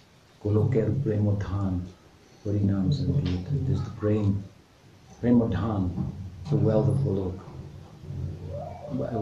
Has been exported here by engaging in that. What, what will I experience today? Every day new. Every day new. Every seeing Krishna every time new, like never seen him before. I can't take my eyes off him. It's just consistent experience. So one is sure, but one is very flexible also. One is very sure that they're getting very close to something that's very big. And they're sure that I'm, I'm sure that I'm very small. I'm very sure that I'm very small. And I'm very sure that I'm in touch with a kind of knowledge that I cannot take and put on my agenda, but a kind of knowledge that has me on its agenda. We're accustomed to taking knowledge and putting it on our agenda and pulling it out to show how smart we are, to get a job here, to make our way, hmm, to get false prestige or whatever it may be. Hmm. This knowledge won't work like that, only counterfeit form of it. So, what is the surety in Nishta? Confidence. We're confident. As you come close to the infinite, you know what it means to be finite. And that the infinite would come so close, make you weep. Hmm. I'm so insignificant.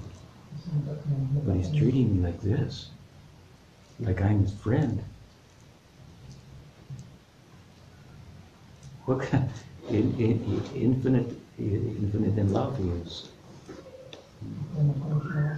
You wanted, you wanted, you wanted to taste love, and he's like, you were thirsty and he threw you in the ocean. You want water? Here. Anandam Buddhivardhanam. Anandam Buddhivardhanam. I wanted to be happy. but now, now I'm bathing in happiness. Hmm? Right? And happiness is making me weep. And my hairs are standing on end. Some abhas only in this, some shadow what, what, what to come. So one feels very confident, confident that he's very small, that Krishna is very, very kind, very merciful, so certainly I'll be successful. Not because I'm great, because I'm such a good chanter. And I wish you were. Why not you? Why aren't you, why aren't you fasting on? Like me? Not like that. I know I'll be successful because I know how kind he is, how merciful he is. There's no one more merciful. Says himself. Hmm? What did he say? Oh, Bhaktivam Stanaka Kutam. He gave, he gave praying to, but to Buddha, certainly give to me. Who in their right mind would, would take shelter of anybody else? What kind of go- idea of God you have? This, this God sees nothing. You look like a devotee? Oh, looks like a devotee. Let me go there. Hmm. And give myself to him. So Nishta, this, this verse, a third verse of Shikshashtaka, is about this stage. Hmm. In this stage, the road ahead is no longer winding. It's straight. Hmm. But it's not narrow. Now it's very wide. And rules and regulations become realizations. Verses have many meanings. Hmm. And there are many gurus. Hmm. And everybody's a guru. And I'm learning from everything, everywhere. This is the really beginning of real experiential spiritual life. And Mahaprabhu has given us this uh, fourfold kind of decorum, as I say, or behavior, uh, disposition to cultivate along with his method of chanting Harinam. So we want, this is an interim goal. Uh, we want to become gopis and gopas. That's all a very good idea. We should know about that, for sure. But we should know, if you go to the mall, you know, and you want to go to room 108, there'll be a map. And the map will say 108 is like way up here. And what else will it say? And you are here. You have to know both things. Where to go, where I am, and what is the next step. Focus on the next step. And each step that you focus on, which is the next step in front of you, you're thinking about that place hmm, while focusing on the step ahead. You don't differentiate the step ahead from the goal. Hmm. Some people differentiate the step from the goal. I want the goal, but I don't want to make the step. I can't understand that the step is, is the goal in the seed form. Hmm? If you come to me and you say, Swami, do you have any mangoes? And I say, yes, I have mango. I'll give you a mango. And you say, I heard they're very sweet. Yes, they are. I give you one. Here, there's a little seed. And that's s- a little big seed, mango seed. And you say, you say, you would say, Swami, it's very dry and very hard. I wanted a mango. I said, no, that is a mango. What do you mean? And I said, oh, well, do you take it and put it in the ground, make a hole, and bury it?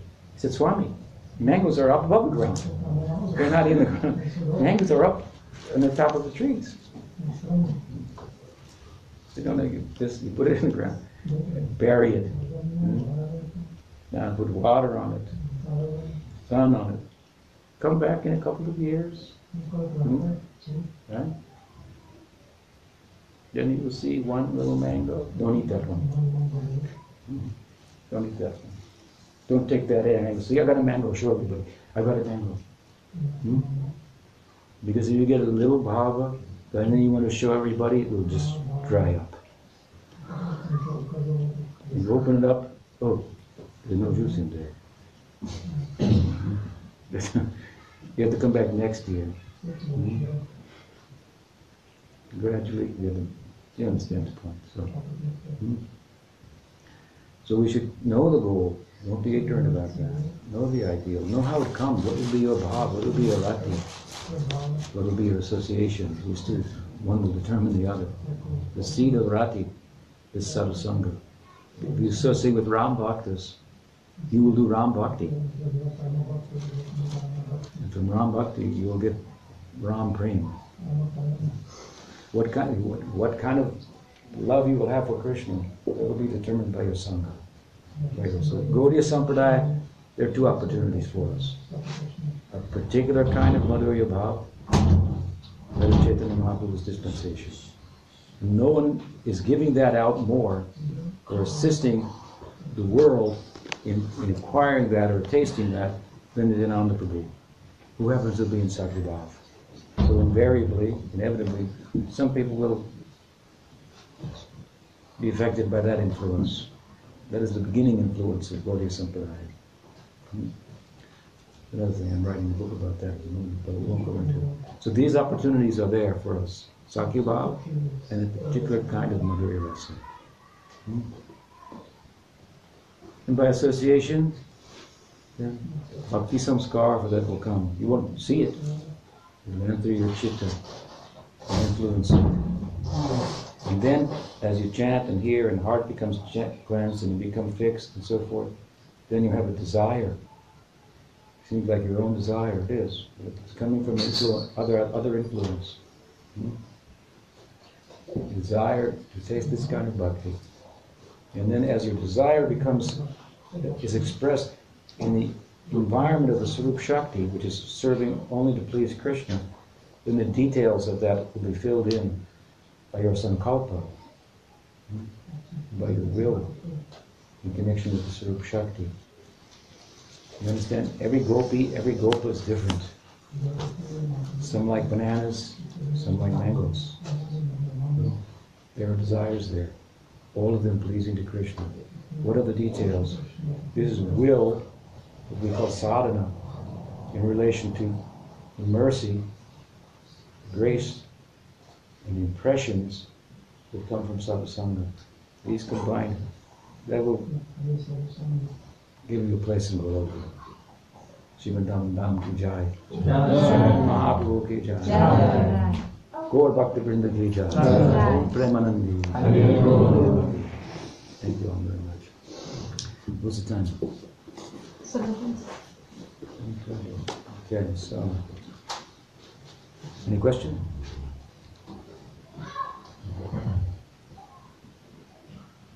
Yes. You have mentioned there are different steps to the goal, and we actually have uh, discussions about things uh, like uh, what we feel when we do genuine uh, spiritual advancement. I, I can I understand it can be individual, but are there some general rules? What should be happening to us if we do spiritual advancement? Because like Christians say, follow the rules, and then when you die, it will be decided, heaven and how. right? Now, follow the rules, chant 60 rounds, and when you die, you will go up, you go there. That's the idea. But our idea is that you should feel during the process something happening. So Uh-huh. it should be like the guideline, I'm doing it right, I'm not doing it right. Is there some general rules that we can Uh-huh. hold on to? Yeah. To do it right, then you have to do it sincerely. That is the main rule. If you want to love, you have to love. You understand? So, the main rule is that you, you actually exercise your heart. Just like you want to chant and you want to pay attention, right? But the mind follows the heart.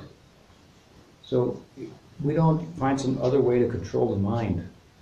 But we give our heart to Krishna, and the mind will go there. So if you chant, for example, like prayerfully, hmm, you cry because you cannot cry while chanting. You understand? And you, you, you want to be sincere, and, and, and you, you, so you give your heart, then your mind will pay attention. If you're not giving your heart, then your mind will go someplace else. There's no better way to control the mind. But it's hard to exercise the heart. It's hard to exercise the heart. With other things in the heart getting in the way. But that we have to try. So, you, so, uh, point being that you're asking for some like, what are the rules, the guidelines, and so forth. So, the center of all this. Krishna tells Arjuna, Arjuna says, how am I going to do this? Yoga is very difficult. What you, what you laid out here, it's very difficult. How can I be successful? Maybe I won't be successful. Krishna says, no, I told you in the beginning. Now we're in the sixth chapter. I'm giving the end here of the teaching on yoga, and it corresponds with the beginning of my teaching about yoga. Remember when I told you the beginning, in verse 39, I said.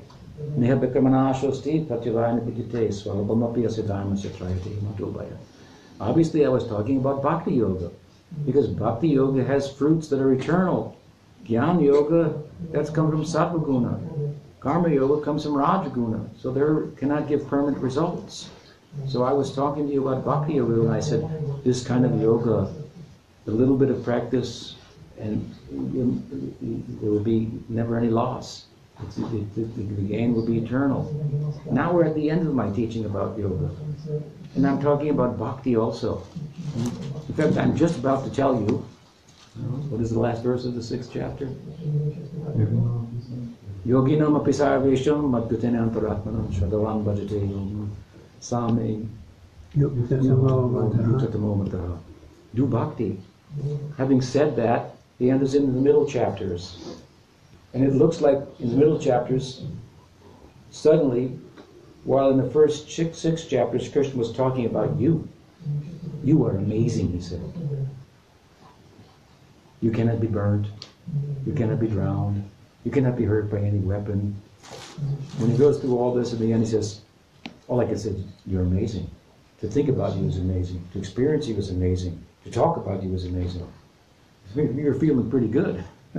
After the first six chapters, you're pretty cool, according to the Gita. But now in the seventh chapter to the twelfth chapter, Krishna appears to start talking about himself.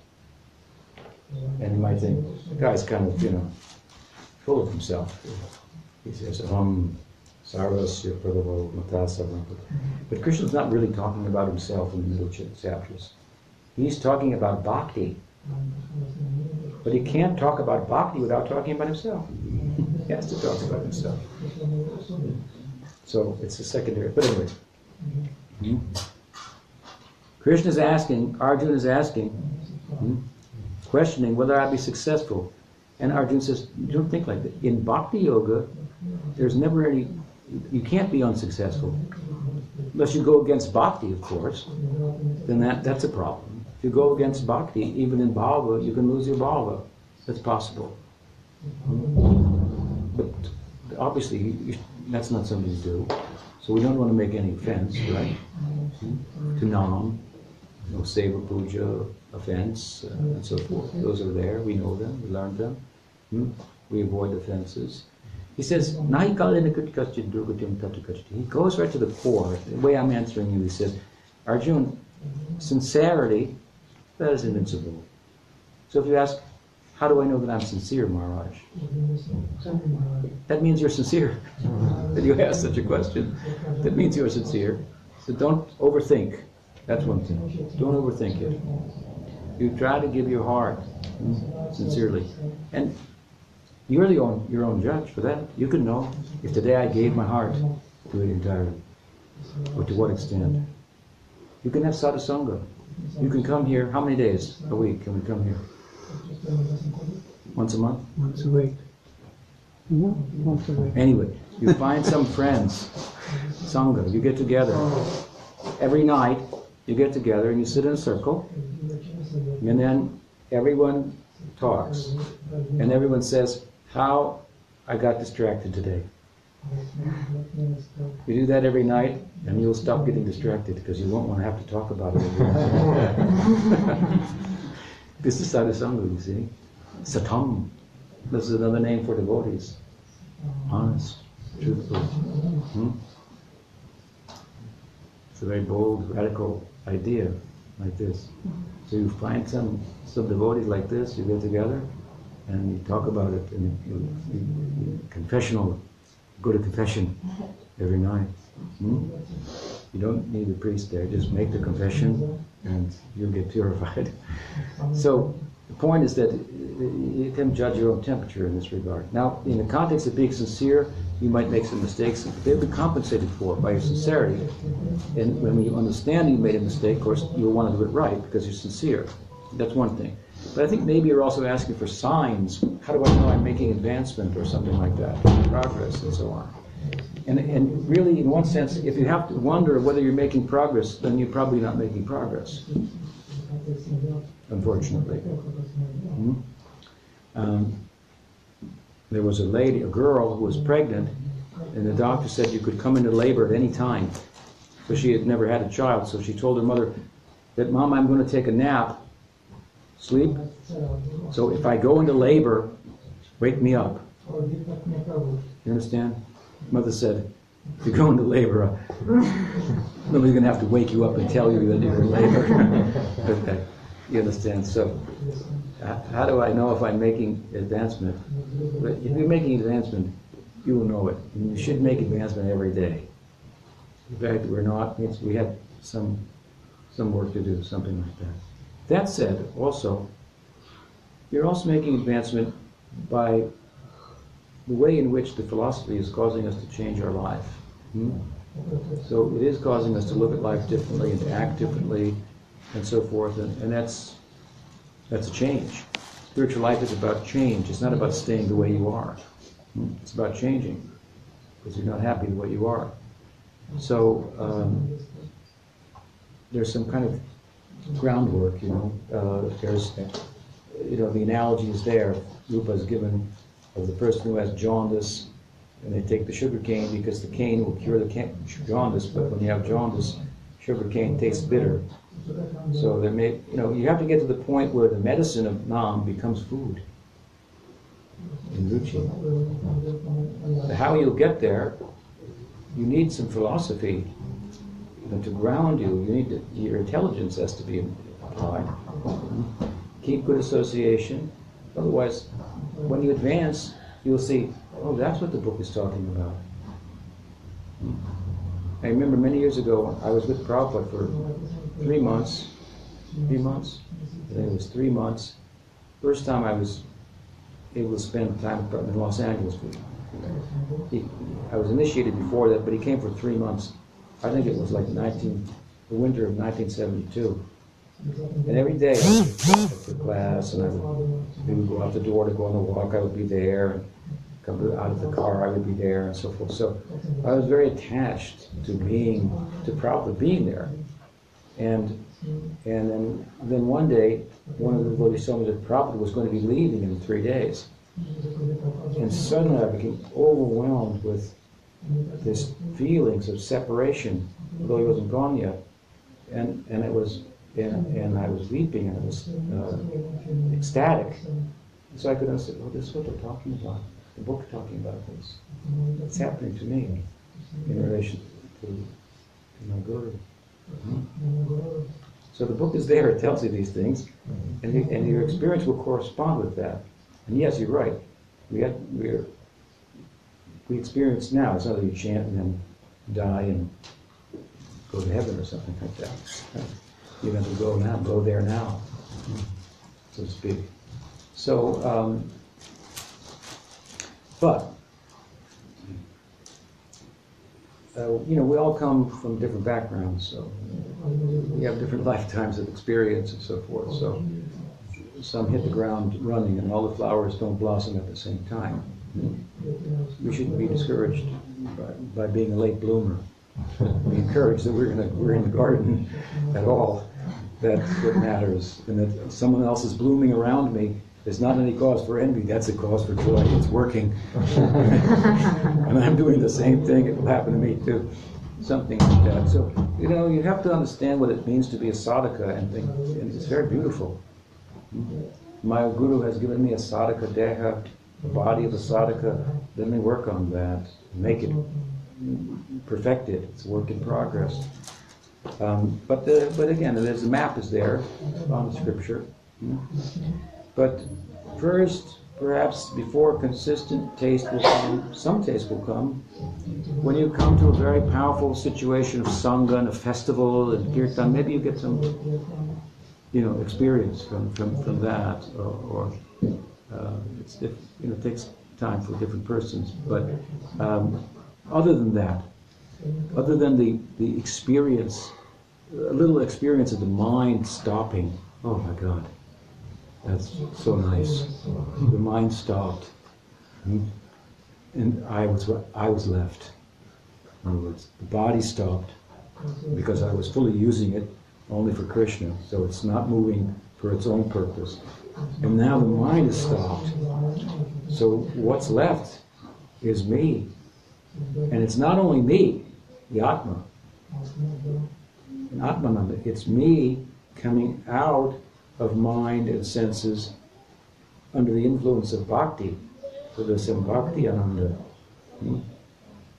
And so, first it will come a little bit here and there, maybe for an hour or two or three or four, then for days, then sometimes for a month, and then it will, your karma is not yet fully terminated, so you return. So it takes a little time, but but besides the experience, higher experience, that's so confirming. Besides all the philosophy, right? Little experience. It's just you can have a thousand classes in one moment of ecstasy. So I'm convinced, right?